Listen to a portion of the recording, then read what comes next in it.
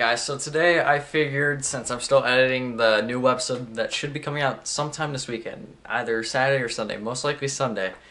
But uh, I was thinking since I've gotten this question a lot about uh, asking what cameras we use and whatnot, so I figured I'd go through all of it. Alright, to start out, this was the first actual camera that we used on the channel.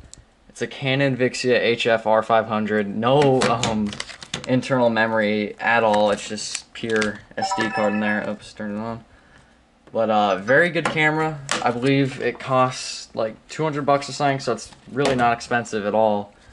And basically, this is probably the best camera that you could start out with if you're thinking about starting, like, say, a uh, car channel or a car spying channel. Preferably car spying is what this works for because it has incredible zoom and really good quality overall. I mean, great stabilization for 200 bucks. I mean, can't really go wrong with that. It's a Canon product, so you know it's most likely going to be good.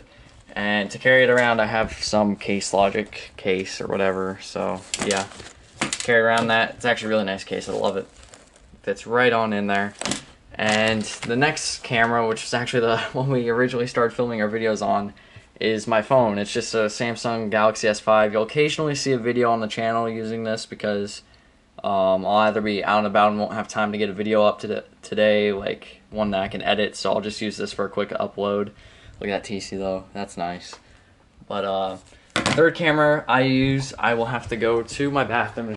And so what you see here is actually a nice Sony action cam. I believe it's the AS200V. So uh, it has steady shot in it, which is really, really good. That's one of the main reasons why you should probably pick this over the GoPros because of the steady shot. And correct me if I'm wrong, but I don't think that the GoPro has any um, stabilization whatsoever at all inside the camera, at least. But uh, as you probably can't see, I don't know if you can see it right there, but it has a tiny screen on the side of it that'll tell you what mode you're in and how long the video's been recording. So it doesn't have a screen like the GoPro does, but in my opinion, you don't really need it with this wide angle of a lens because you basically know what you're pointing at is what you're filming.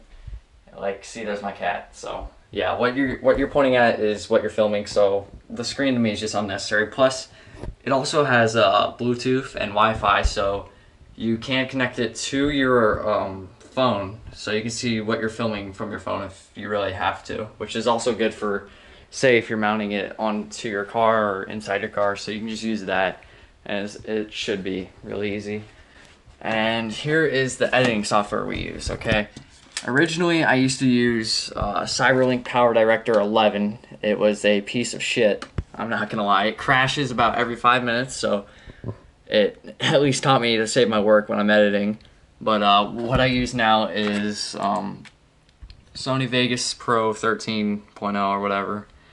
Uh, really good, really fast actually. Very fast and really smooth actually, so it's really good. I highly recommend it and this is totally not the torrent of it. I completely paid full price, which is very expensive.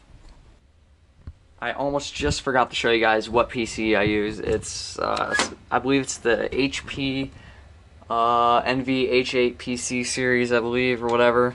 What it has Beats audio. I mean, it's it's pretty much the cheapest good desktop you can buy. I'd say. I don't know. I could be wrong. Got this a few years ago. It's worked well for me. It only broke once, and then I got it repaired and hasn't had any problems since. So it's relatively good and cheap. So if you're looking for a starter desktop out here, I don't know, maybe go for this. I don't know. I'm not really a big computer guy, so if anyone out there in the comments wants to suggest another one that any beginners can use, then just listen to them because I I don't know shit about computers.